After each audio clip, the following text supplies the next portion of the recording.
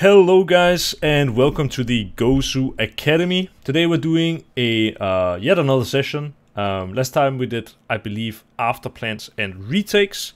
Today we are doing something that is a little bit more touchy-feely instead of being something that is very specifically, um, how can I say, it? it's it's not uh, something concrete. It's not like an after plan or retake. Um, what we're talking about today is uh, basically my path to pro. Um, how did I make it pro? What uh, sort of trials and, and what do you say tribulations? Is that I think that's how you say it. Uh, did I have to go through to make it here? Um, what is my advice to someone who is wanting to go pro? What is my advice to someone who is maybe already beginning to make it there? Um, what are some of the things I've learned over my career, like across my career, that uh, you guys can learn from. So uh, first of all, just funny kind of, but yeah, we I found out that uh, I lost one, two, three, four, five, six, seven, eight, nine matches in a row before retiring. So definitely made the right decision there. Um, going through my my sort of uh, history, as you can see, I spent almost yeah I don't know something like eight years um, in teams and my career spanned, at least my HLTV career spanned from uh, back in, uh, yeah, Shut the Fuck Up Nerd, as the team was called, all the way to Ambush, which was my last project. Um, and I will be talking basically about anything. I will try to give you guys uh, tips, but I will also tell you um, just kind of the history behind my career. Um, for the people watching on YouTube or in the academy who are unfamiliar with my uh, career as, as a player or just career altogether, uh, I kind of came up as a, I guess, a YouTuber at the beginning, doing like case openings and stuff like this. And um, in fact, here, like I was not even playing the game that seriously. Like I wanted to to play tournaments and and stuff, but I was not at all thinking I was gonna go pro. Um, that changed probably in this team because I found out I was actually pretty good at the game. Um, and uh, yeah, that puts us to now today where I am the head coach of NIP's uh, female team, uh, a role that I've I've very uh, recently taken. Um, yeah, this, what? They are they are my stats here are not correct. Um, anyway, we'll just start from basically the beginning, at least what HLTV sees at the beginning. And what you will actually find is that basically, I do think these were my first maps on HLTV. Um, I uh, had actually probably one of the best best of threes of my career. Um, as you can see, my team narrowly uh, won against ESC, which was actually not that bad of a team back then. And I, I had uh, almost 100 kills in a best of three with a plus 46 and a rating of 1.6. Now, this was back in rating 1.0. Um, so at this moment, rating 1.0 with a 1.6 would probably be something like uh, a lot closer to a rating of 2. Uh, I, this is probably like 1.85, 1.9 or something like this. A ridiculous rating, actually. Uh, one of the best matches I ever played. Um, and uh, yeah, basically my first match, more or less, that I ever played. Um, this was when I started realizing, okay, hang on, I'm actually pretty good. Interestingly enough, I was playing AWP and IGL at this. Actually, no, sorry, Vesta was IGL at this moment, but later I would I would take over the role of, of IGL. And another few uh, solid maps. Um, got a chance to play uh, Space Soldiers with some familiar faces. Santaris is still pretty pretty damn good uh, back then. He's still really really good right now. Um, and just overall, I was kind of the star of the show, but I would also say I was having a playstyle um, that was very, in a way, individualistic. Like I was a beta uh, without really doing it on purpose. I just was. Um, yeah, short, short kind of thing. Um, actually, here in in this team, um, later or no, sorry, actually before this, I had started a team with a certain someone uh, called Magisk. Or well, technically, I had started a team with with uh, a guy called Rizix, who I had found in matchmaking. Um, and and this kind of uh, helps answering the question that I get the probably the question I get the most on my stream is like, how do I get go pro? How do I get noticed? Um, I can't say it for everyone, and and obviously times are different now than they were. Um, but back then, I uh, literally found this guy in matchmaking, and uh, I thought he seemed pretty good. And I just asked him, "Hey, do you want to make a team with me?" And uh, we decided to do that. Uh, one of the guys that he recommended was uh, as as 15 or 16 year old kid called Magisk. Uh, he must have been, yeah, I guess 16. Um, obviously, at this moment, like uh, one of the most decorated uh, players of all time, like four-time major winner. He's got a major MVP. Had a far greater career uh, than me. Far, far, far. Like I'm not even in conversation with this guy. Um, just to be clear. Um, and then we actually even also ended up picking up to like a mixed team, a Lekro, who also went on to have a really good career. Played a lot of uh, you know Swedish teams. he played also in North, like NIP, a great organization. Um, still actually active um, and has a few trophies under his belt. And that was really all it, it kind of took to get me started was just I went into matches. I found uh, like-minded people who I felt were good at the game, and I asked them if they would be interested in playing with me. And and that's uh, how it all started. Um, we won a tournament. I'm gonna go to Google here. Uh, League of Sharks 2015. But uh, we won this tournament that we played um, with this uh, mixed lineup. This Aries sadly quit uh, before he went pro because he was actually probably one of the most talented players on the on the team. Honestly, um, I think yeah he was more talented than me at least. That's for sure. Um, and um, yeah, we beat Reason Gaming, which at the time, probably these names don't mean a whole lot to the majority of people watching, but at the time, these guys were very, very good. There was a Shark Gaming, a k0nfig, definitely a player that people have heard of. Netric, I think, uh, still works as a um, analyst for Mousesports, and uh, we still have Valde, obviously, in the scene. Um, somehow we came out on top. There were some cheating controversy because people thought that Lekro uh, actually cheated. Um, ah, just touching on it briefly because it's 10 years ago. Um, Lekro was uh, playing, and I know I have so many uh, so many uh, things open here, but I'll just show you uh, Lekro cheating. You'll probably be able to find it.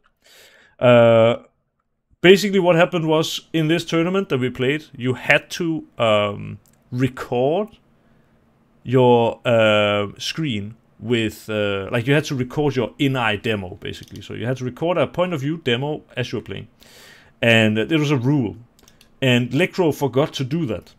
Um, so we were actually supposed to be disqualified from the grand final, which was kind of ridiculous. But what was lucky was that people were already uh, suspicious of Lekro, and so someone was streaming uh, only his point of view to see if he was cheating. Um, th- there was this incident in one of the rounds that people thought was aim key, where he looks very robotic and flicks over on the head of this player. Um, and for this, actually, especially if you watch it in slow, um, it does look extremely suspicious. Um, let's slow it down here. Like, it goes. Wait, did I miss it now? I think I missed it. Um, so he goes over here and at some point his aim just looks like it almost robotically locks onto the guy's head.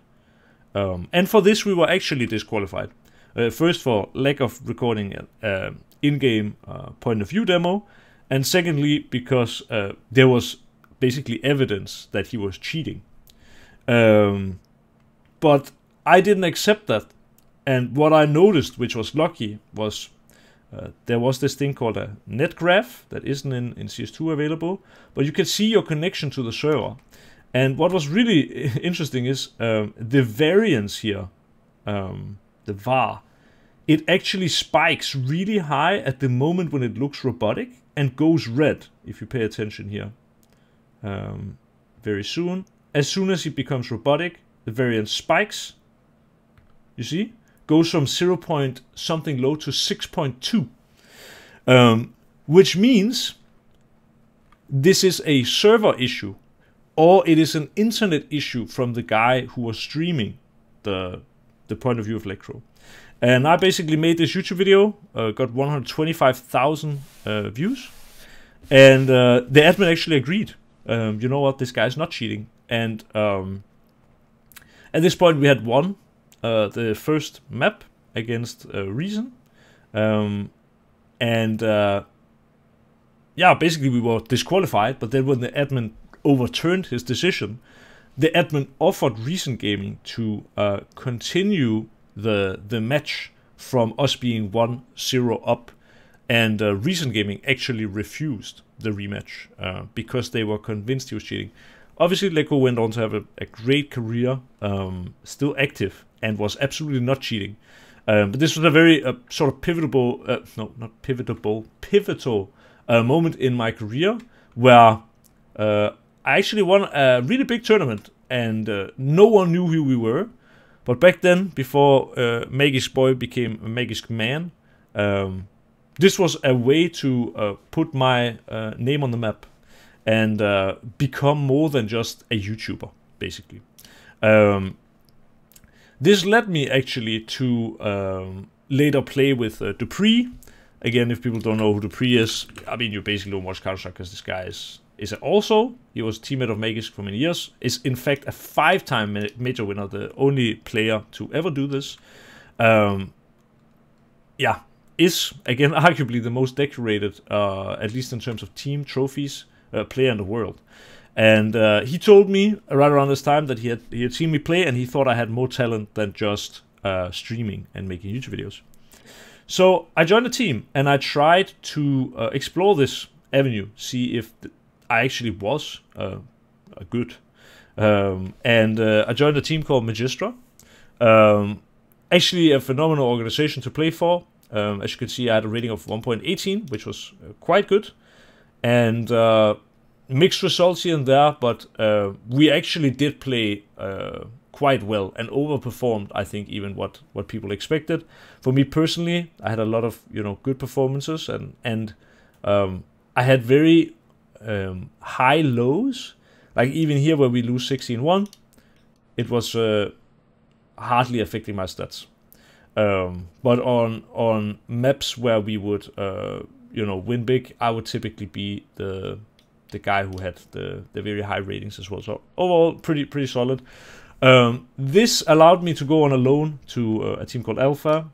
Um, I will not talk too much about Alpha. It was actually one of the I would say dark periods of my time because it started out pretty decent. Um, we beat you know Ecstatus. Uh, Ecstatus at the time had Frozen. Um, again, also one of the really, really good players of, of now. Um, but we would lose the Dark Passage to go. Well, we would beat Coming Flames. We beat Rogue pretty good actually. And then at some point, I don't know, things just uh, started going downhill, and we just couldn't beat anyone all of a sudden. Um, and uh, it actually ended up with the team after three months just saying, um, "We will, we would like to get out of our contracts. This is clearly not working." Um, so yeah, and I, I could not find my individual level of, of form. Um, we had some good players. I was playing, yeah, there's so much history here in general, but I was playing with sycrone, who's now the head coach of uh, Mousesports. And uh, yeah, this led me to uh, be teamless for a little while. I joined a team where I played without salary, um, kind of on like a stand-in basis. Again, played pretty good. Nothing too uh, exciting. Um, this gave me another opportunity with my uh, good friend sycrone. I got to play with him in eFuture. Again, linked up with my uh, friend Rizix that I had started my original team with and, and played in this uh, eFuture team. And uh, put up, uh, again, solid ratings. Overall, I was, I was very um, just solid throughout the early stages of my career. Um, when we were getting into this part of my career is I think when it's it gets kind of interesting. Um, eFuture became Team 123. We changed the future players around here and there. I still had like a consistently high ratings, and um, as you can see, sometimes for, for a long time I was just uh, doing very good. Um, had a couple of, I mean, ratings above two, um, which was uh, my highest ratings at the time, and uh, I was playing really good in this team um, until we started playing some really really good teams, and then you know times got got a little tougher. Um, Unfortunately, this team died because, uh, yeah, not public information, but uh, Rizix got an offer to go to a Chinese team, and they offered him a lot of money. Uh, for us at the time, we were being uh, offered, I think, uh, 700 euros per month per player, which was an insane amount at the time. Like that was a pretty good deal. Like not an insane, insane amount, but like for us that was the most we, we had ever made with Counter Strike.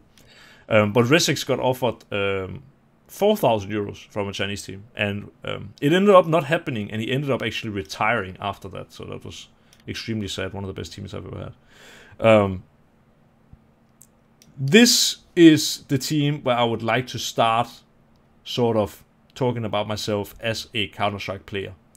Um, this was uh, kind of a mixture of some different players. Um, yeah, okay. Actually, we still had Rizix at this uh, at this moment. Uh, the China, China thing didn't happen, and he, he started playing with with us in this team. I had brought over my friend Percy and my friend SMF, and we had also Maeve, who was like a pretty um, storied in-game leader, um, and um, yeah, basically Maeve didn't want to play Counter Strike, I think, and didn't really want to admit it to himself.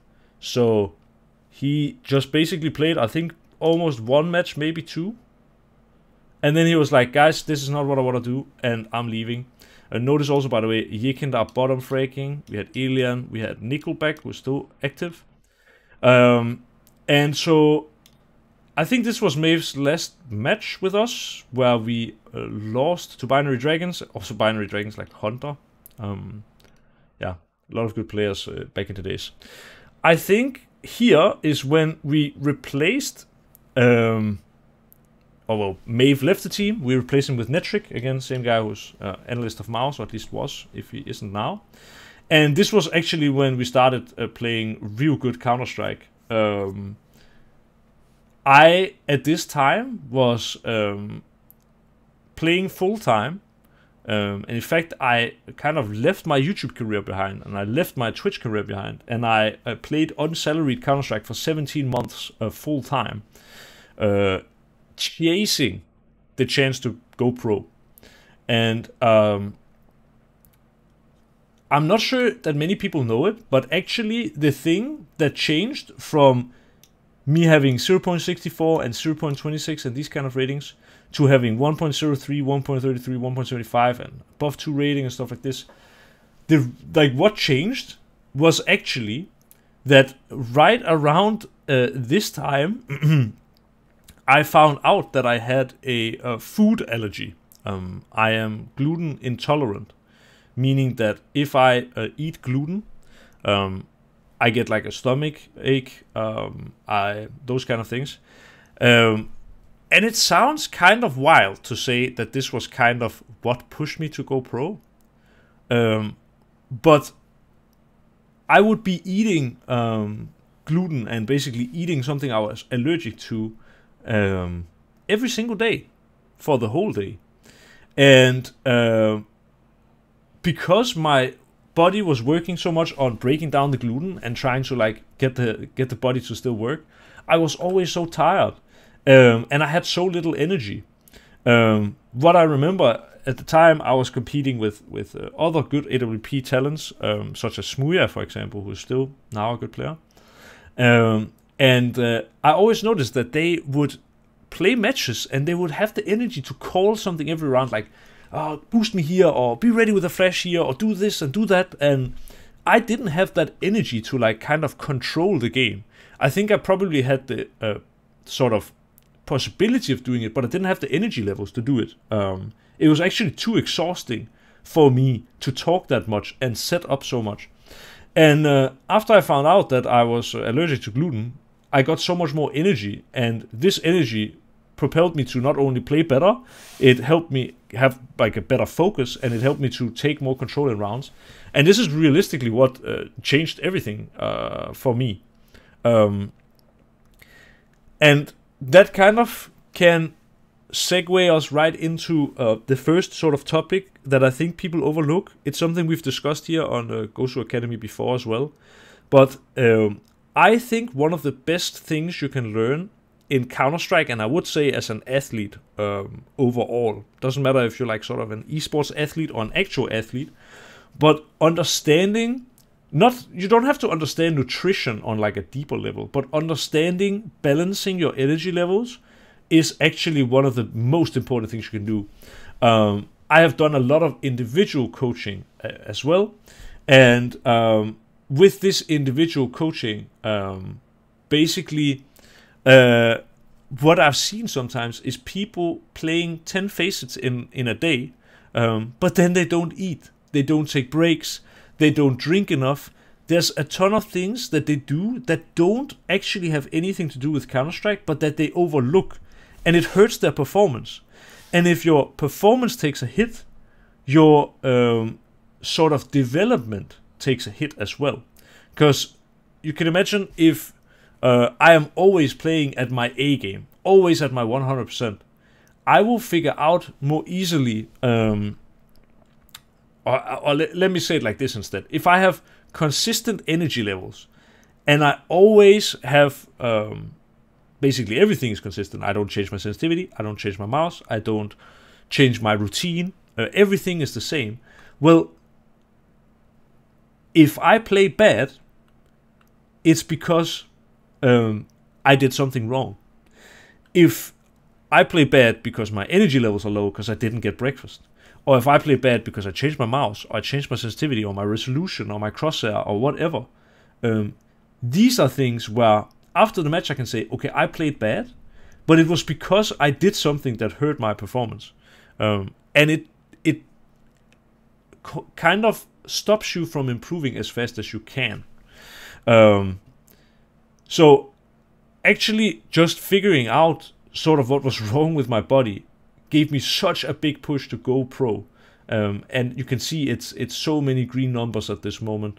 Um, there's this one guy I played against called like Sai Wu, um, in this match, for example, you can see I ended up winning, and obviously his carry performance was even greater than mine. But I, I technically outperformed him. Um, we both had a crazy best of three, um, and this was a, a grand final uh, to qualify for a big tournament, one of the one of the biggest I played at that moment. Super big match for me. We uh, had Kinguin first match. Uh, we actually beat them, um, and yeah, played played more matches. Overall, played good. Um, this leads me to another really, really important stage of my career. Um, there was like a tournament where you would play against. It would be for the for the um, let's say the number three in Denmark to number ten in Denmark would would compete. Um, the best teams were too good, and it would be sort of like who's the best of the mid. um, and this was uh, really a standout performance for me. Um, at this moment, you can see I have a very good average rating already going into this. Um, I think before this Red Reserve match, I literally had something like 1.3 average rating.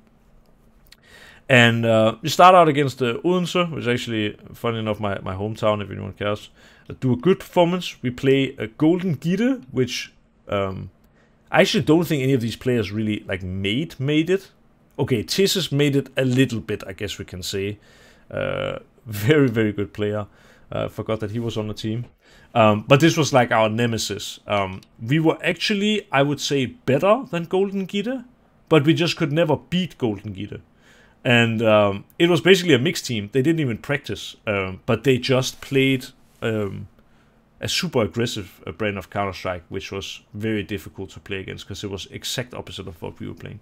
So we actually lose this match um, against them in the group, and we go through as number two. So we meet uh, again in the next match, and we beat them very convincingly.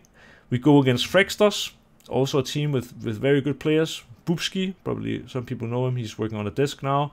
We had Refresh, also a very good player. We have Dragonfly, which is, um, yeah, it sounds kind of awful to say, but Dragonfly is Stavn's brother, right? So like that's kind of probably not so many people know the name Dragonfly, but um, definitely people know uh, Stavn, uh, one of the one of the big names, uh, a multiple uh, top 20 player.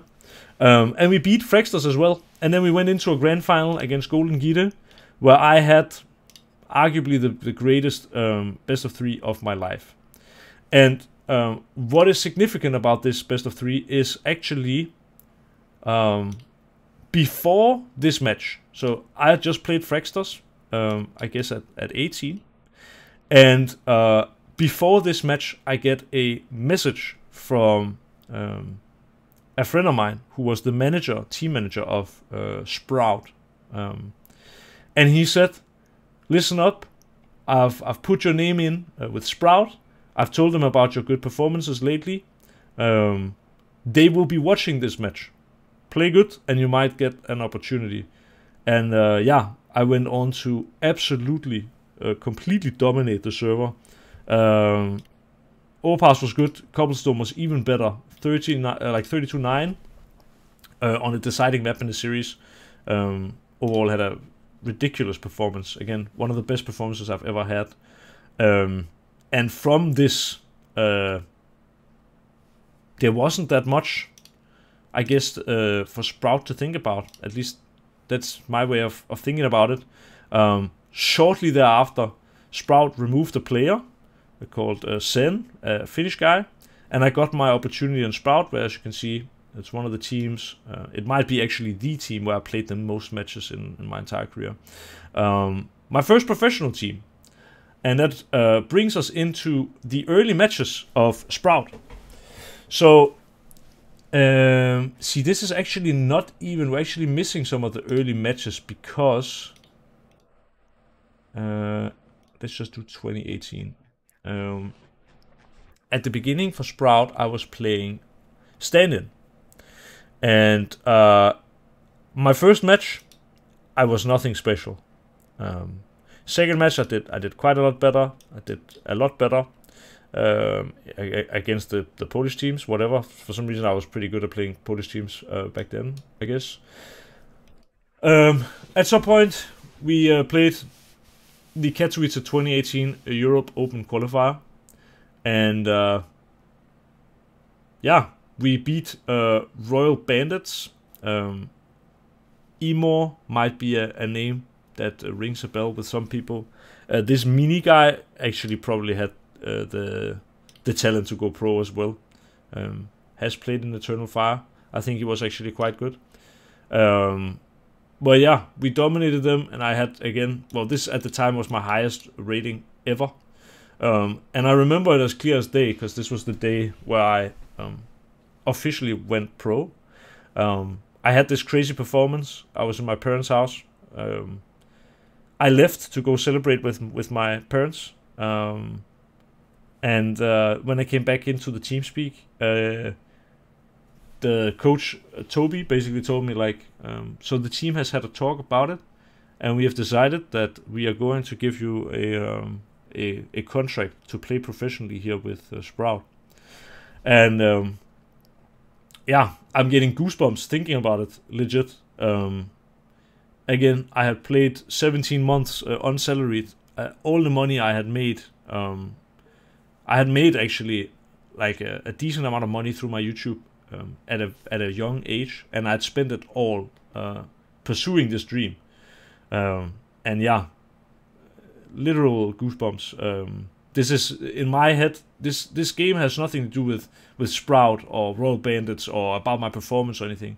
Um, I I whenever I see this match, I think the contract game because this was when I went pro, and that's just an unbelievable feeling. Like um, like sort of working so um, directly towards one goal. Um, and and I had put a timer on myself. I had given myself one and a half years, um, basically. Uh, so when I played 17 months uh, on salary, my my timer I put on myself was running out. I was gonna go back to just a, a regular job, like go to university. Um, and uh, yeah, this changed literally everything. Um, now more than six years later, I'm still here working with Counter Strike. I haven't been back to university, and uh, yeah, a very special game for me. Um, very very special game. Um, nothing super special happened. We definitely didn't make it through this tournament, um, but a very very special match. Um, one of the most special for me ever. Um, yeah. Um, instead of it just being me talking about like there's so much history and I could talk about this all all day. Um, I want to try to talk about some of the things that I think I did right here before going pro. Um, I mentioned it already, but I just want to also kind of conclude on it and also bring up some more things that are important. Um, if you are trying to go pro, when you play FACEIT, when you play matchmaking, when you play whatever you play, try to find like-minded people um, that you like to play with, who, um, yeah, just you enjoy playing with, but who also um, have the talent, but also have the same kind of ambition as as you. Um, for example, he was very clear he wanted to go pro in Counter Strike, and that's why I wanted to play with him. But if he would be really talented, because when I met him, he was better than me for sure. Um, if he would have just said, "Yeah, I'm just doing this for fun," I likely wouldn't have started a team with him because that was not what I wanted to do. Um, a lot of people come to my streams um, and also here at the Gosu Academy, and they ask me like, um, "What can I do to go pro?" or "What can I do to get noticed?" And it's like, just find like-minded people and start a team. Like, um, I was a little bit lucky in a way that I had some kind of big results early on. Um, but I was also unlucky because because I was a YouTuber before, no one wanted to believe that I was actually good at the game. Like uh, the first two or three years of my career, it was all about shedding that negative reputation of being a YouTuber. Like if people would lose to me, it would be like, "Oh my god, we lost to a YouTuber," or if I would play good, people would be like, "Whatever." It's like uh, it's just a YouTuber. Like he, anyone can have a good game, you know. Um, it was so hard for me to shed this, and and Danish teams wouldn't want to take a chance on me. Uh, people were making fun of me. Um, it was actually like uh, I felt kind of bullied out of the Danish scene, and it's why I also my first professional team was a was a was an international team because no one wanted me in the Danish scene. I so long had had performances that were good enough to give me an opportunity to play for Tricked or something like this, um, but they wouldn't give it to me. They just refused, and I had to go so deep that I put up performances to the point where I got sort of internationally noticed um, for me to get a chance. Um, so part of that was find people who are like-minded and work hard. Another part of it is one of the best things you can do for yourself is finding a team and um, learn how to play in a team environment. Uh, I could not tell you how many people with over 3,000 elo I meet in FACEIT, and they are literally brain dead. They have no understanding of team play. Um, they play for themselves and they have great aim, and there's a reason why they are at that elo, but it just does not translate to a team game. Um, it's nice to have that one guy in your team who just is an insane aimer and kills everyone, and it's it's extremely fun to be that guy who just has no brain and kills everything. Um, but one of the best things you can learn is actually playing in a team and understanding the game at a deeper level, being challenged, um, losing matches and going through them and being like, oh, what could I have done better here? And getting other good players' uh, opinion on that, or maybe even having a coach. Um, these kind of things, uh, they're important. And um, they were some of the things that, that helped me a lot. Um, I think, and I touched, I think on this last session as well. But one of the one of the advantages, at least I had in my career, was I was always very goal oriented. So um, it was for me like I know I want to go pro. I'm gonna put all my energy into going pro, and I'm going to do it by doing this. Every day I will do one hour of deathmatch. Every day I will do X amount of games. I will play this amount with my team, and I want to be the top of the scoreboard every game, and I blah blah blah. Um, super goal oriented, and um, it did pay off in the end. Um, but when people say, "How do I get noticed? How do I go pro?" Um, all it takes is one good result, you know. Like, and if you have a match in an open qualifier or something where you pop off and you destroy um, individually, you have a good performance against a, a team that people have heard of, people will see your name. It's as simple as that. If if you have a team that is beating another good team, and you're one of the good players on it, you will be noticed. Um, there are players like, uh, yeah, what would even be a good example here?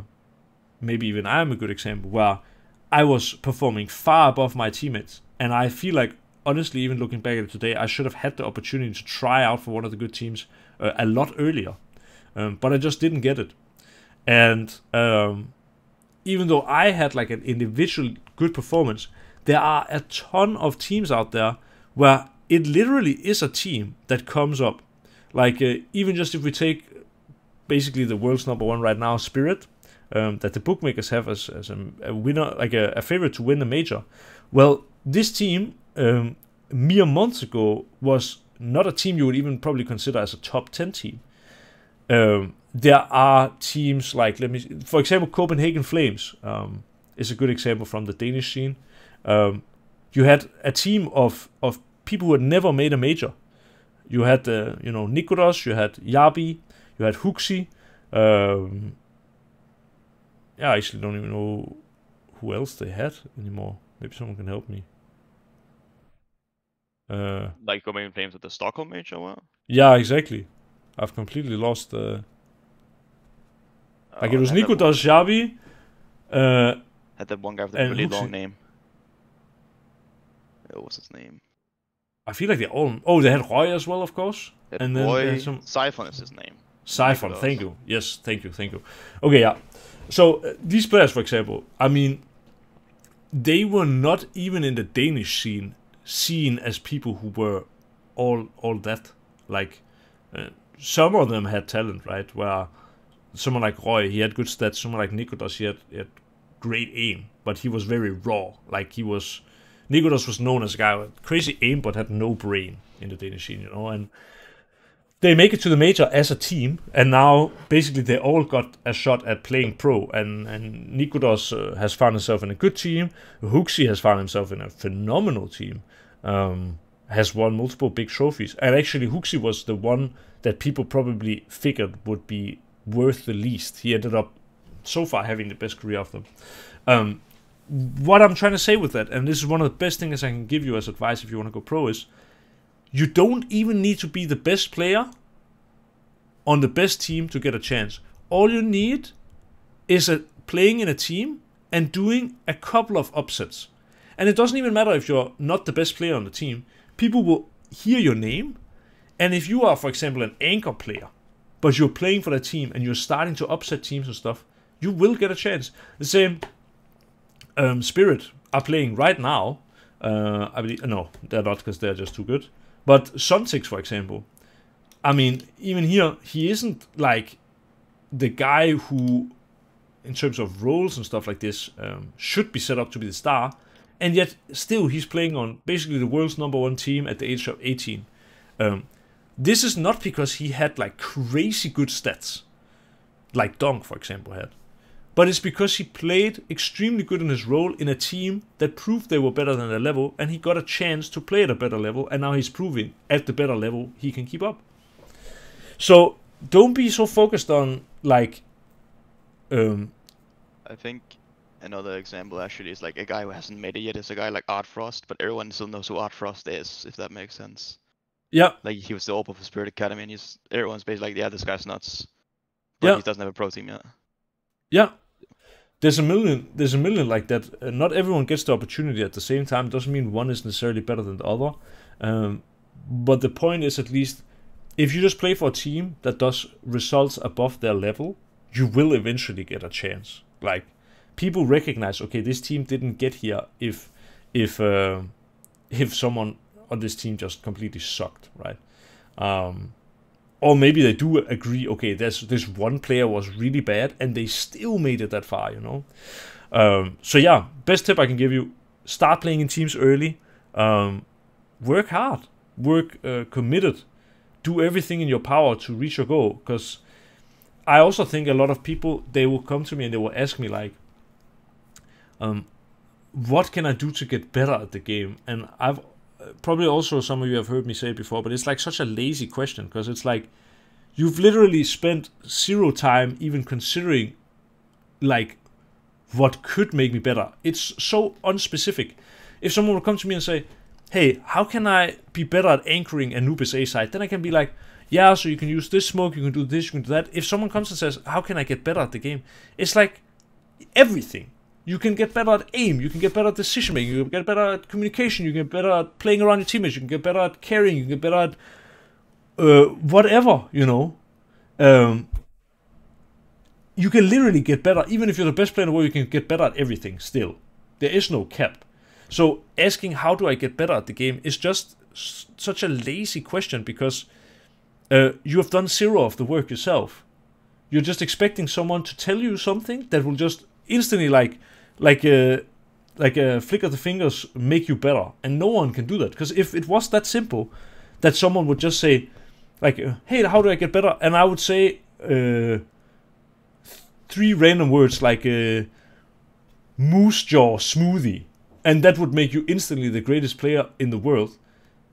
Then everyone would know this, if that makes sense. Like, I cannot tell you, like, yeah, to get better, you just have to go do this aim routine and stuff like that, because then everyone will be doing that aim routine. Like, you have to make that work yourself as well. Um, and it's good to ask for pointers, but be more specific. What do you want to learn about? Do you how do I get better at supporting my teammates? Um, that's also pretty hard. It's very general, but at least there I can say something like, yeah, you should take a look at your teammates and try to play around them and be ready to flash in the back and offer grenades and I can give something at least. But yeah, if you just say how do I get better, no one can answer the question. No one. Um, another really um, key match in my career, we played against um, actually uh, a team that had just uh, played really well at the major, had, had surprised everyone. No one. It was actually a, a, really good example of this as well. No one knew who these players were. And funnily enough, uh, basically four of them kind of never made it. Like Kvik was was, uh, I guess, kind of uh, what's it called? Like he was uh, he was close. Let's just say like that. boombl4 obviously extremely made it. Um, won a major, everything. The IGL of the team. Um, but these other players didn't make it. But as a unit, they were good, and they they did get some kind of chances to show their worth. Um, basically, they had just come off of a great time at the major, and uh, I'll see if we can. Yeah, so basically, just on this cobblestone map, um, we ended up in a. Uh, well, I ended up in a in a three on one or 1v3 it is, pistol round. Uh,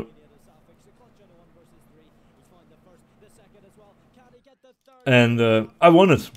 And then later, this was what I think really put me on the map early on as like a player.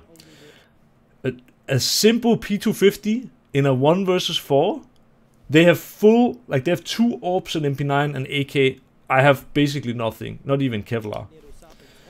And uh, yeah, this is one of the one of the most important highlights of my career. Individual highlights.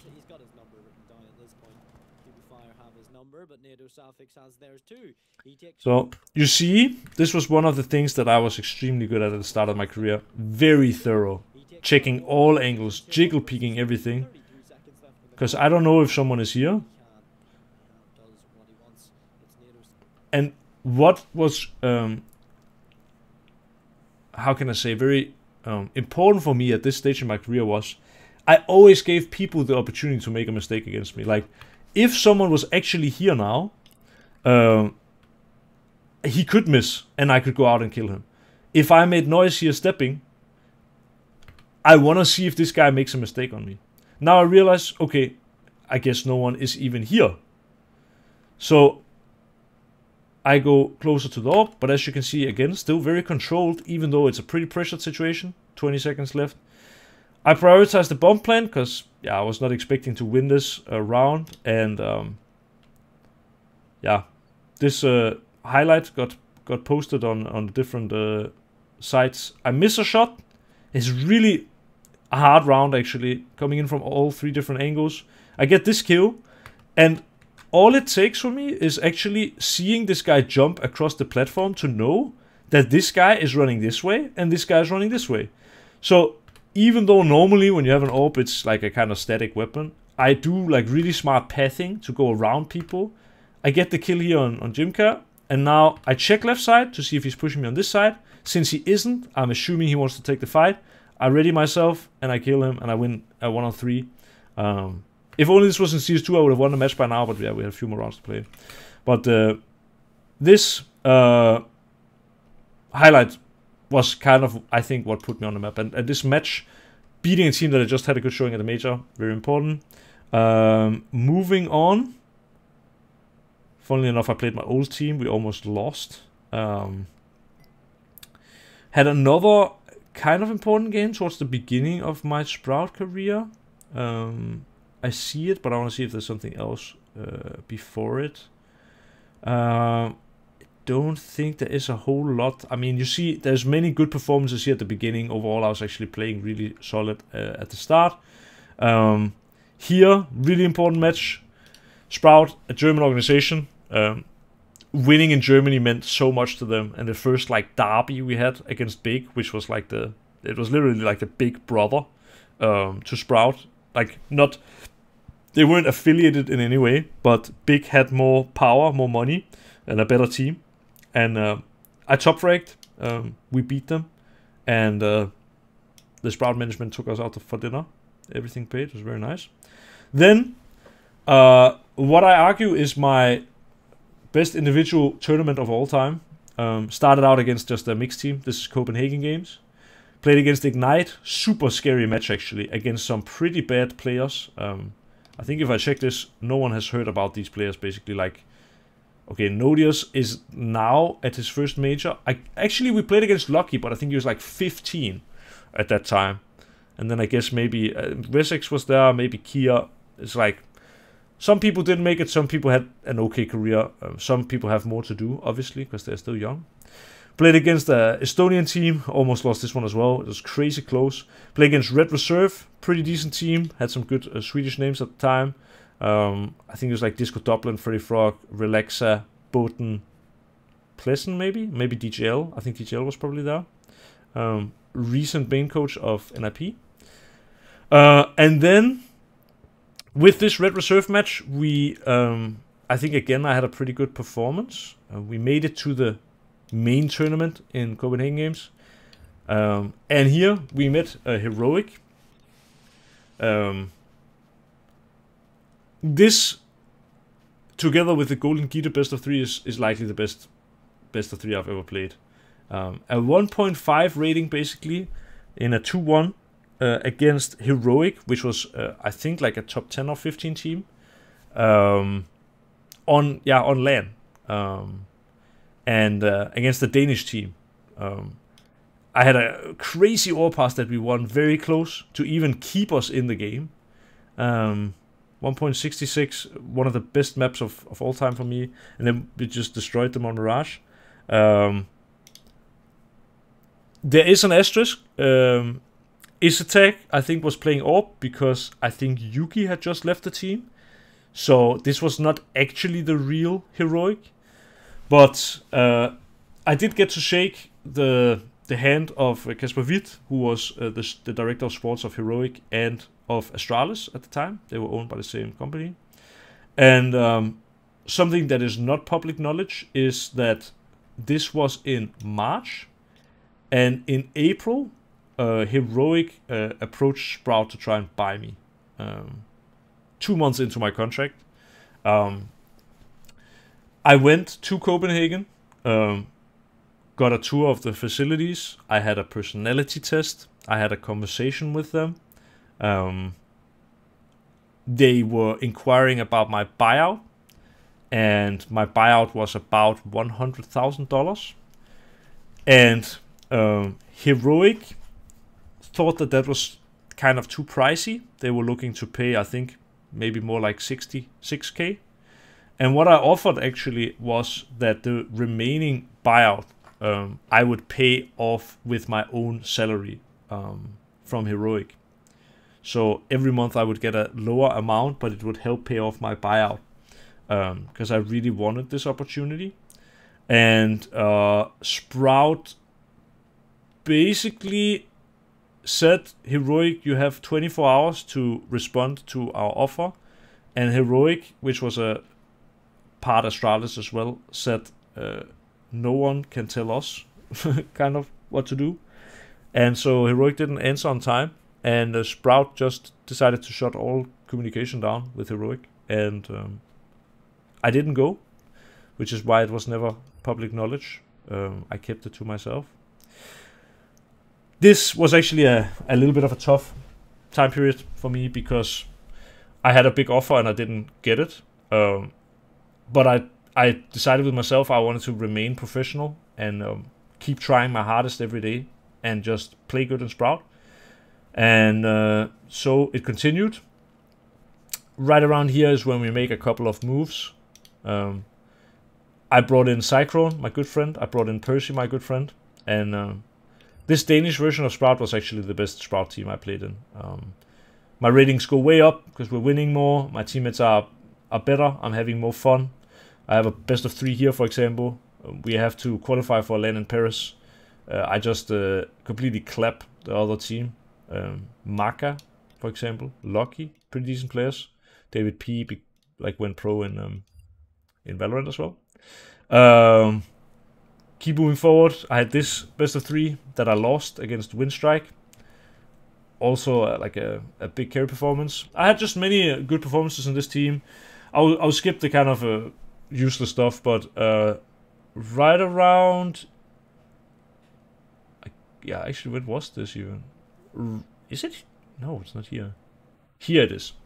Um, basically, uh, actually, this is kind of interesting. So we we played the qualifier for uh, the minor, and we narrowly win against Windigo in our first match. I didn't play good at all. My teammates carried me. It was amazing. Thank you, teammates. We played Red Reserve, uh, and I think I returned the favor. I had a really good performance. We play against Kinguin, uh, and we lose. And uh, we were 2-0, and we needed one win to qualify for the for the Europe Minor. I played pretty decent, but it's whatever. We play ENCE, and we uh, basically don't have a chance. Like they just smash us. This was the ENCE team that, like, basically uh, is the actually the exact ENCE team that went to a major final uh, about seven months later. So this ENCE team had a lot of potential. Um, at this moment, we got smacked. Uh, we didn't have a chance. So now we went from 2-0 to 2-2, and it comes down to the last match. Um, and uh, yeah, we won it. Um, I didn't play that crazy on Cache, but what I do remember on Mirage was I had 25 kills, and I think uh, on Mirage alone I had 21 kills with AWP. So out of my 25 kills, 21 of them came with AWP. Um, I was uh, like uh, dominant with AWP in, in this match. We ended up winning. We ended up qualifying for the minor, one of the most. Oh, sorry, this is not the minor. Uh, we are at the minor here. Opening matchup, Kinguin. We uh, we win it somehow. No idea how. Second matchup to its winners match in the group. We beat NIP in overtime. Uh, and we actually go through as number one in the group. Which means we have two best of threes, and we need to just win one of these two best of threes, and we qualify for a major and get stickers in the game. First best of three, play against ENCE. Again, get clapped. We have no chance. They're just way too good. Second best of three, play against NIP. Legendary lineup. People probably know. Uh, well, not the legendary lineup, but definitely have some legends. Forest, get right. We actually have Lekro here as well. Um, rough, rough match. Basically, get completely carried by Percy on Rush. That's the only reason we even got a map.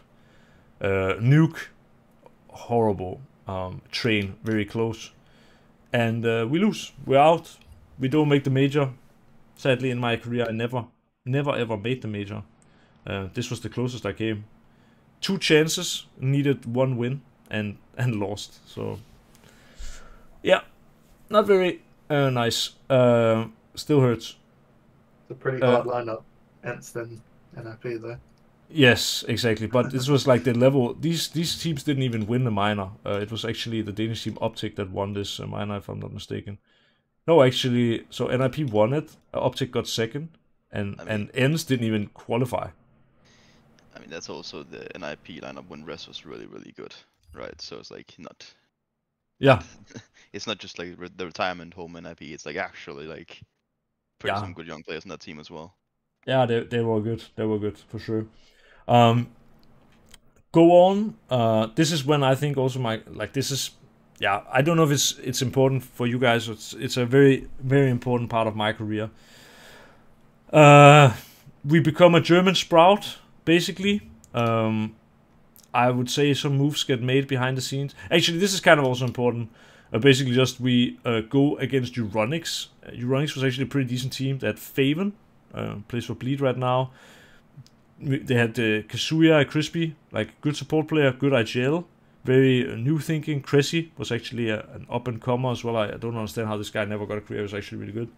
Um, Mirbit as well played for for Sprout. Actually replaced me in Sprout. Um, yeah.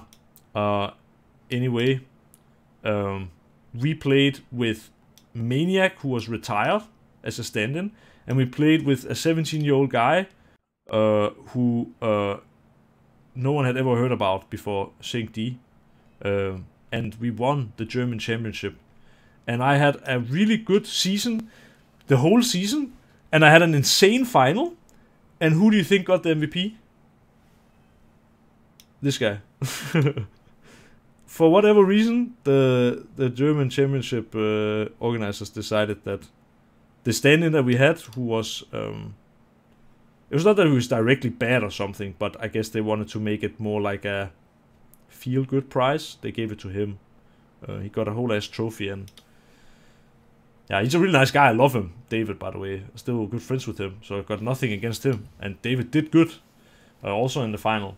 But yeah, I wish I would have had like an an actual MVP trophy uh, to put somewhere. Um. Anyway, uh, moving on the last of my sprout time sucked. Right around here, I find out, like uh, month 9, find out that Sprout is looking to replace me, that I am almost 100% out uh, in December. Uh, then come December, I'm driving to the German Championship, and as I'm in the car driving to the championship with my dad, I get a message from a certain someone on Twitter saying that uh, Sprout have removed me from the team, but they haven't told me it, and they already have signed new players. So I go to this tournament knowing that I'm kicked and we fail. I actually played compared to the other players on team very good, but uh, yeah, not not nice. Uh, it does bring me to a really important part though, and it's uh, something that is a little bit hard to talk about, but I've been wanting to make a video about this for the longest time. I just can't do it, but I will at some point. Um, like, I've I've shown you so many of my good moments, and I've told you like how much it still means to me that one match where I went pro, and I can also tell you guys that it means so fucking much to me this period of my life. Um, I my personal life outside of Counter Strike was horrendous. Um, I went into a deep depression. Uh, I got kicked from my team. I uh, broke up with my uh, girlfriend at the time of four, almost five years at the same time. Um, literally, like on the 26th, so five days after the last match I played for Sprout. Super deep depression. Uh, couldn't even get out of bed uh, for four, five, six months um, because I wasn't good enough for Sprout, and um, yeah, my relationship on outside was not going good, um, and uh, this is why you basically don't see me um, play many matches at the beginning of of. I I uh, I got asked to stand in for heroic, um, and I played with some friends, and then I went to Copenhagen Games for the good vibes, uh, and then I played for Heroic again. But there's a big gap here where I'm basically not playing the game. Like uh, I I don't like the game. Uh, Heroic asks me to stand in, and I say yes, obviously, and I'm really happy and I play good. Um, and uh, yeah, but uh, full depression, full depression. Heroic comes and asks me. Uh, this is six months, no, five months later, and yeah, I wanted to say no because I was uh, depressed. Legit. Five months later, still depressed. Uh, but you don't say no to heroic and such a big opportunity, so I said yes, and I played like shit. or well, at least I didn't play good. Uh, we had some of the most big wins of my career. We beat number four on LAN. Um, we qualified for Pro League finals. I was living the life, but I was playing like shit, and uh, and I was feeling like shit. Um, and it's also why, you know, things were getting better. And what is actually really sad, and it's easy kind of to say, but uh, right around here, after getting home from Cologne, and before going to Chicago, um, I um, started actually doing the first do like basically something happened that that unlocked myself again. Um, I I yeah I unlocked myself. I I was starting to get out of my depression at this moment, and uh, in the first uh, best of three, Chicago we win, and uh, yeah okay I, was doing better. Like I had really rough roles at this time. I was playing like super super bitch roles basically. We play ENCE, extremely close game, uh, and I perform really good, honestly. Um, we play against uh, Vitality uh, again as the decider. Where's this match that I'm looking for? This one. I don't think I do that great, but I don't think I played that bad either. Like uh, es3tag had taken over my AWP at this moment, so I'm playing like bitch rolls, and he had a really rough best of three. But at this moment, I'm I'm starting actually to play like a um, like I'm good enough for the team. And uh, this was my last event with Heroic, um, so that was pretty sad. Uh, and uh, I've since been told because they replaced me with Bob, um, and and uh, friberg decided to leave the team, but he only told me. He didn't tell the rest of the team, and um, I have heard from the team that if if they knew friberg would bench himself, they would not have removed me because we were the two support players, and if they would, they only needed to get rid of one. I was the the easy option in a way. Um, I was also probably the the the worst player at that time, right? Um, so it was fair enough. Uh, but yeah, things could have gone differently. It's whatever. Uh, I play some standing for Copenhagen Flames. I play some standing for Nordavind. Uh, and again, like literally, I'm just still not feeling that great. Um, actually, right after getting removed from Heroic, I meet my current girlfriend and fiance, and things uh, start feeling better. I, I'm I'm feeling better. Just um, I'm sort of out of depression. Then Mouse comes and asks me, "Hey, do you want to stand in for this uh, tournament, uh, CS Summit?" And uh, I say yes. And yeah, this is fucking insanely weird tournament. Like, look at this mishmash of like like decent performances, but then trash because we lose like to G2 in a best of three, we lose 16-2, 16-3. And then we meet them in the final and we win. Um, probably you guys know the story somewhat, but uh, short, short explanation. Basically, karrigan uh, and Mouse.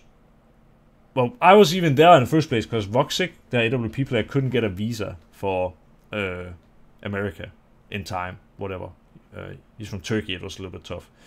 But karrigan needed to go and get a visa for Russia because they were going to play Epicenter, which was um, Summit was like 100k tournament or something like this, 150k, and Epicenter was uh, 500k or something like this, 300k. So that was more important for them. And um, karrigan literally had to leave in the middle of the grand final to take a flight to get his visa for Russia. Um, so we played with the coach, and uh, the coach had a rating of 0.07, and I also sucked on on map. Somehow and I don't know how. With the coach and without our in-game leader, we actually won the last map and we won the tournament. Um, my only ever big trophy, so to say, one that is on my profile. Um, yeah, crazy stuff. Um, I will move a little bit quicker. I move into Nordavind. Uh, this is more of the same. Uh, I was pro in fact, Nordavind was where I was getting paid the best out of any team ever um, in terms of monthly salary. Uh, I was sort of living the life, but uh, just as I joined the team, basically, kind of what happened with Maeve earlier. Uh, actually, already here, holy shit! Like, look how few matches we have. I signed like a contract, and yeah, holy hell! Wait, so we play one day with Rubino as IGL, and Rubino is still here, and like just a matter of days later, our in-game leader uh, basically decides to quit the team, and we don't have an in-game leader. So I end up being in-game leader, and HS was in-game leader, and back and forth, and it was horrible, and yeah, just six months of not having fun, because this was just not a nice team to play in, in my opinion. Um, funnily enough, we actually. Uh, go on summer break. Oh no, we right before going on summer break, we do win a tournament, uh, Malta vibes. Uh, we we came out on top. I had the highest performance, or like the highest rated performance. I mean, it's kind of normal for an AWP player, but whatever. I think even on those two, I I don't know, but either way, um, we won this tournament, and then shortly after the summer break, I got benched. As you can see, like come back from summer break, play like what five matches or something, and then they kicked me. It was uh, weird, but good for all parties involved. And then some standing in with complexity. I, I won't touch on this too much because uh, I, I I think it will be too crazy. I go to Lyngby Vikings uh, to try and reignite my. You know, you know what? Actually, what's actually interesting here is after this complexity thing, I'm thinking I want to reignite my career. I want to take a sort of step down, and I want to be the best player on a team, and I want to show the world how fucking good I am.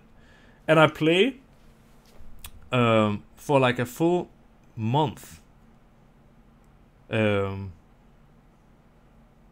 I think at this moment, um, because an organization says that they want to sign a team I was playing in, and then basically on the day we were supposed to sign, the, uh, the organization says, uh, actually they didn't even say anything. They just stopped responding to us. So then I, I started playing in Lyngby Vikings, and it did go pretty good. I had really good performances against many good teams. Um, got some very exciting highlights uh, as well. And then uh, I leave the team because, uh, yeah, it's whatever. Honestly, it's not even that important why I left, but I decided to do it. Um, I got an offer from Guerrillas, um, and yeah, that was also kind of a shit show just this this team it had a lot of uh, players who actually had done a lot but there was just no motivation for people to try and win and it was just not a good project. Uh, i think everyone knows from the outside as well. Uh, and then um, yeah another complexity. Then in 2022 i uh, play with finest.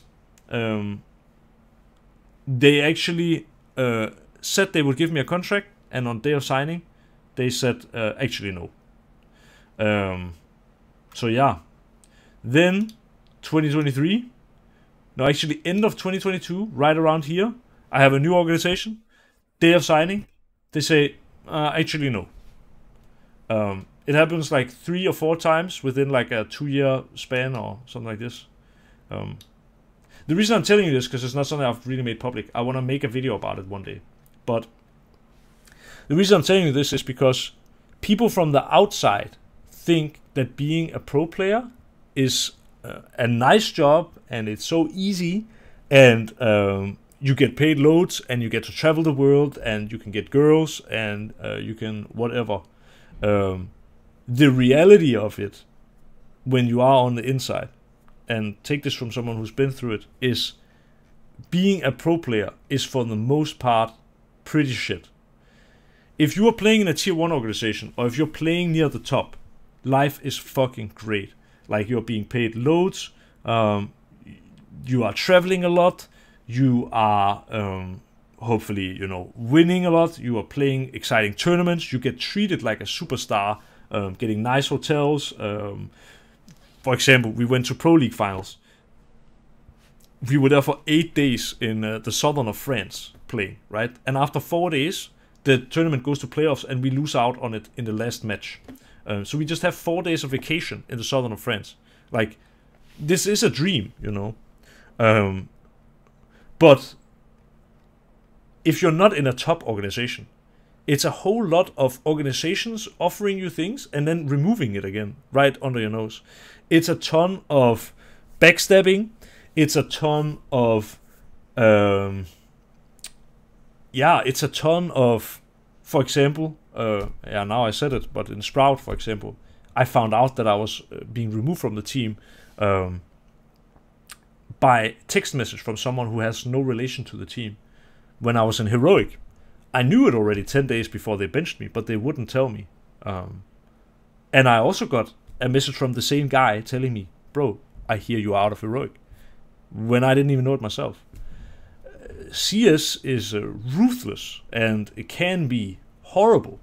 Um, so keep that in mind before you sort of make your whole life about CS. If you're young, you're a talent, you're playing in a, in a good teams and stuff like this, life is amazing. But if you have that drop off, or if you don't get the offers, or if you do get screwed over by an organization, or whatever, like even this Gorillas team, for example, it's public knowledge, so I can easily share it. They scammed the players out of uh, 200,000 euros, and I'm still pretty sure these, these players never got their money. Um, I can tell you uh, at a later time for another organization. So actually, I got removed from Gorillas and I got my money and I got out, which was lucky in a way. But at a later time, I actually do um, sign for an organization that also do some what I would say borderline illegal or maybe illegal stuff. Um, and it is just part of Counter Strike, and it shouldn't be. But it's because no one dares to speak up. Because if you do, you fuck your own career. Basically, that's what you get taught. Um, we're going down a, a, a weird avenue right now. But what I'm just saying is, don't try to become a pro player because you think it is the greatest thing you will ever do in your life. If you are fucking sick, if you are one of the guys uh, playing a major like uh, right right now, uh, you're loaded as fuck. You can get uh, women. You stay in nice hotels, uh, stuff like this. Um, but even if you go pro and you're not one of those guys, it's possible that you are gonna get absolutely screwed over uh, contract-wise with things. Um, there are like organizations out there right now having uh, some of the most lucrative talent um, in the world on very small contracts. Think something like less than 1,000 euros a month and three-year contracts.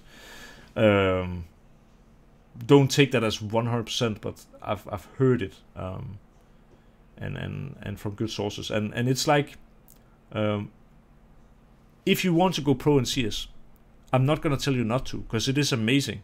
And I love competing and I love Counter Strike. And if you love competing and love Counter Strike, um, it is a career path you can take. And if you work hard, you can go there.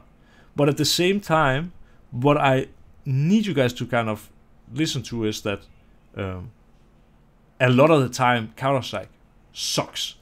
And when I was on the come up, because um, now we've gone through the, the, my career sort of right um, all the way before uh, these teams all the way before this i joined a team i practiced with them for a month this was not an organization and um, we were supposed to have a LAN and literally the day before the LAN they told me hey um, we found someone else and I had another LAN, uh, Magistra here, in the middle of uh, August, um, where a day before the LAN, a, a player on my team says, "Yeah, I don't want to play here anymore." And it's these are things that will really, really be tough to deal with. Um, imagine if my career would have stopped before it even started, because people were telling me I was not good enough. Um, and funnily enough, I ended up having a better career than all of them. And even back then, I remember thinking, how are they gonna kick me from this team when I'm the best player on the team? Um, but I had a million times here was about to give up. Um, there was this, uh, yeah, what was it even? Uh, where we, we found it was it eFuture or or something where we played uh, Xstatus. Uh, maybe it was even in, in, this match I think where Frozen. It might be this one.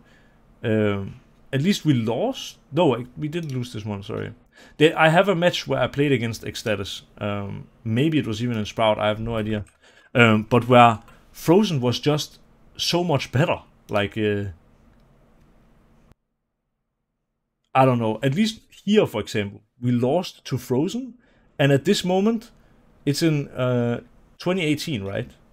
He is now 21 years old. Like the guy was 15 years old, and and I would have been then 21 years old. Like I was six years older than this guy, and and I remember after a match like this, I'm thinking, how can I ever become something in this game when a guy who's six years younger than me is still like already now better than me?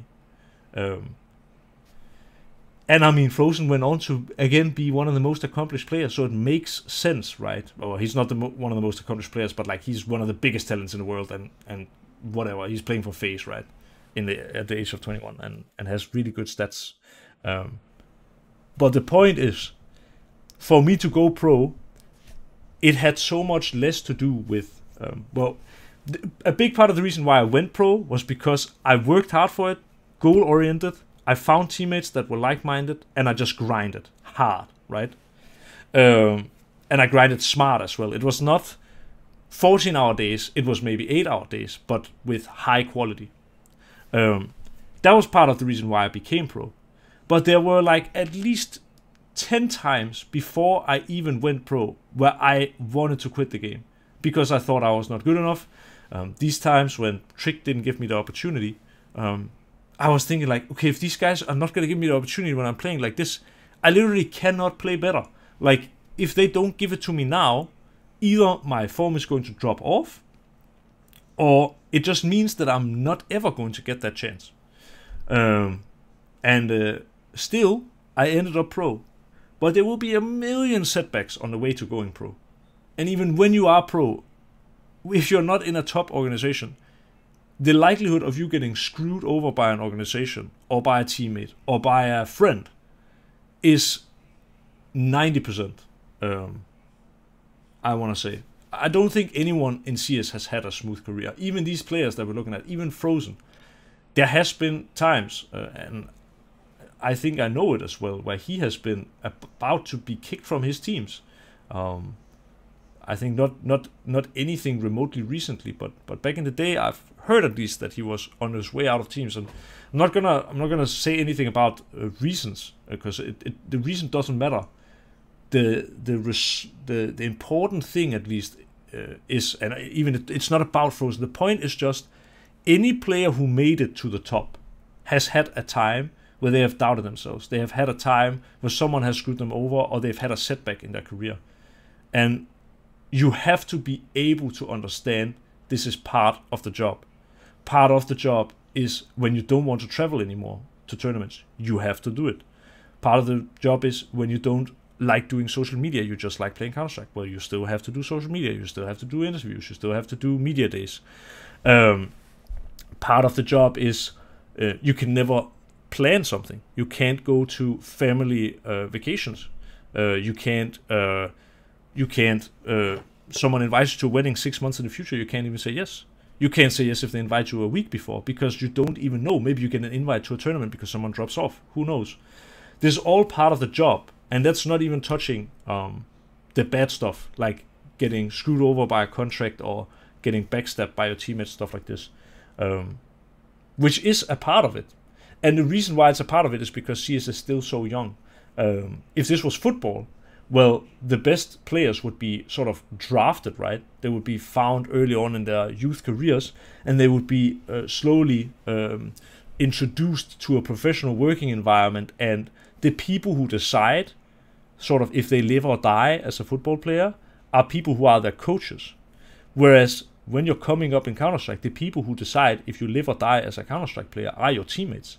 And they can be jealous. They can be a million things. They can remove you because you are the best player on the team and they want to be the star. Hell, I've probably done it when I was younger. Removed people from my team uh, because I argued that they were playing for stats when in reality they were just more in the spotlight than me. And, and in a way, uh, I wanted to be the best player on the team because if I was the best player on the team, it was more likely I was the one in the spotlight.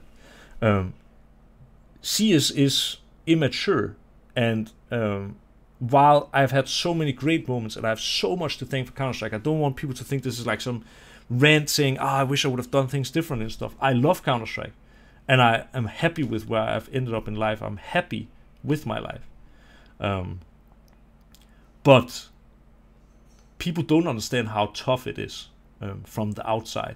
They just see the big salaries and the fancy cars and the and the nice hotels and stuff, but it goes so much deeper than that. And I want people here in the academy and also anyone watching the video to understand that it is not easy to become pro, but you have to go through so much shit on the way as well, like um, every player does, and uh, like it's a part of it. You gotta you gotta be prepared for it if you wanna go pro. And if I've scared you off, then probably you are not gonna go pro anyway. Uh, if I haven't scared you off, then you just now know it. Um, so yeah, that's uh, yeah. I think in professional sports, to be fair, I'm also just going to say this: it, this happens more than you probably think. Like I have a few friends who actually went pro in like different sports, football and tennis. It happens more than you think that they get fucked over. Like not necessarily when they're actually like playing for like a Bundesliga club or something like that, right? But Mm. when you're like on the come up in like the smaller club, sometimes some sponsor just pulls out and the club can't pay you. Like it's it, it does happen not necessarily because of the clubs, but because of circumstances surrounding the clubs. But also a coach a coach in an academy in football has favorites as well. So it's like yeah, of course. it is what it is, right? Like you've just gotta deal with it. Yeah, and and also- Oh, sorry. Can I just make one thought Yeah, real yeah, bit yeah. quick before? I, yeah. Uh, With that, right? This is the perfect example. You tell me now that in football and other sports, this also is going on, and I am ignorant to this. I'm solely focusing on the Counter Strike aspect because I know for sure this is happening in Counter Strike, right? But I don't know that it happens in in in football and in tennis and stuff like this. But it does not surprise me. But because I'm only looking at it from the outside, I'm seeing also all these footballers. But at the same time, I'm seeing these footballers like uh, whatever Mario Balotelli, uh, you know, uh, one day giving food to homeless and the other time setting off fireworks in his hotel room, or footballers who punch someone at a nightclub. Footballers who, uh, I mean, there's a guy right now. Uh, it's a big story in the Netherlands, right? Uh, Quincy Promes, who stabbed someone. I think he killed him, and then he basically went to uh, Russia to play for a Russian club because they don't have extradition with the Netherlands, and then he's hiding there. But now he went to Dubai and he hit someone with his car and he drove off, and now he's gonna go to court in in Dubai, and the Netherlands is trying to get him extradited from Dubai to the Netherlands. Um, so of course, like there's so much stuff, but we just don't know it because we're not in it. And you guys are not in it in Counter Strike. That's why I have to tell you. But it's really good to have your perspective on it. That this happens in any any sport, and I bet you at a at a regular job it happens as well to some extent. the, the thing in just like obviously in like actual like tier one professional football, for example, like soccer, right? Mhm. Um, there's so much money in the skin and skin in the game that typically the sponsors and the companies and stuff are so big that they are very professional. Obviously, right? Like Manchester United is more professional than like Astralis are, right? Yeah. Um, but it's more like, especially when you get down to like the first division, second division teams. Of sometimes you know the local like national chain like just it's like actually no, and then you don't have any money, um, and that can like happen sometimes. Uh, doesn't ha- like, and the main thing is also like in a game like Counter Strike, and this also happens like in the this happens also because like the system of Counter Strike, like the tournament system instead of like the franchise system as well, and like the way you come up, right? Whereas Yeah. like in in football, it's uh, like a league system. It's, it works it, like it just functions differently, and it's not Yeah. so much like on a month to month basis. It's more like you're not playing different tournaments. You're just playing a league kind of situation. Yeah. Um. Yes, sorry, I'm I'm kind of not gonna answer that. I it's more like I, I feel like I interrupted someone before, and I'm not actually sure who I interrupted, but I want him or Ah, her or they or them Oh, to yeah. I was- be heard. I know. I was just gonna say it's like um, you were saying. There's all this. Um, there's a lot more that goes into being a pro than just you know playing Counter Strike and traveling around the world and doing all these things. But I guess it's it boils down to really if you can put up with that other side and if being like on top of a competitive level and being so competitive in the game that you love to play is if if you love that enough that you can stick through it and even if there's setbacks, you can keep working on yourself and just enjoy that team play and that competitiveness inside of you. It really pushes you through. I feel like that's another good thing that can like propel you in like dark times, say that you have, and I'm sure that everyone else has as well. Yeah, Yeah, no, you're completely right. Like it's uh, there go there's so much more that goes to it. I mean, I could spend you know five hours talking about this easily, and I could go more in detail with my depression, and I I would probably also have some helpful stuff to say to people. Um, people can reach out to me on Twitter as well if they you know are struggling with dep- depression or if did they have a question about just anything. Um, I'm pretty. I'm not always the best at answering, but um, yeah, if you don't DM me, but if you write me publicly on Twitter, I will, I will answer. Um, Can I ask you a question? if it's quick, because I have to wake up in less than seven hours. Obviously, you went pro back in like 2016, like 17ish, right? yeah, 18 was my like pro pro Yeah, contract. but like yeah. you were you were you were in like in a more similar stage of your career to like me in 2016, 2017, right? Yeah. And the main thing is like I just want to ask like obviously today there seems to be a very heavy focus on like ESEA is like the main way to go pro, right? Like get up Mhm. into like main advanced, like even ECL and shit like that. Like Yeah. that's one of the big ways to go pro. It's obviously very consistent if you're really good, right? Um like do you think that's like for example for me when I go like I don't really care too much. I think people focus a bit too much on FACEIT. But like do you think like just focusing on ESEA and finding teams for ESEA seasons and kind of centering your I wouldn't say progress, but you know, like using that as like your main way to go pro is like a good idea. yeah, like- just play play play team CS, play leagues, play uh, tournaments, and, and get uh, get uh, your experience this way. It will help you so much. It's uh, it's my top tip. Sure. Yeah, like even also it's so great because it's easy to track your progress as a team. If you are like starting out in, for example, ESEA Open or something like that, next season you're intermediate. Next season maybe you're stuck at intermediate, then you go to main. Um, that's how it was for me. Like I won Open and I went to, I think even just intermediate. I don't think you could go directly to main, and then I had to play through intermediate to even get to main, and then, you know, I worked my way up. So I suggest you guys do the same.